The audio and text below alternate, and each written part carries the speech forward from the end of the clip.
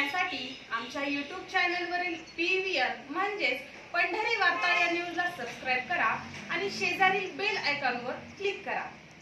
तेलंगणातील सिद्दीपेट जिल्ह्यातील शेतकरी माकडे आणि रानडुकरांच्या दहशतीमुळे हैराण झाले आहेत. या जिल्ह्यातील शेतकऱ्यांची पिके रानडुक्कर आणि माकडांमुळे उद्ध्वस्त झाली आहेत.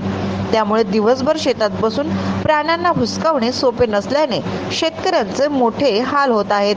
यातून सुटका करण्यासाठी भास्कर रेड्डी नावाच्या शेतकऱ्याने एक भारी मार्ग शोधून काढला आहे. या समस्येतून सुटका मिळवण्यासाठी एका शेतकऱ्याने अतिशय चपकल पद्धत अवलंबली आहे.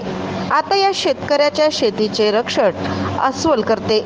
वास्तविक शेतकऱ्याने अस्वलाचा पोशाख परिधान करून शेताचे रक्षण करणाऱ्या एका व्यक्तीला कामावर ठेवले आहे.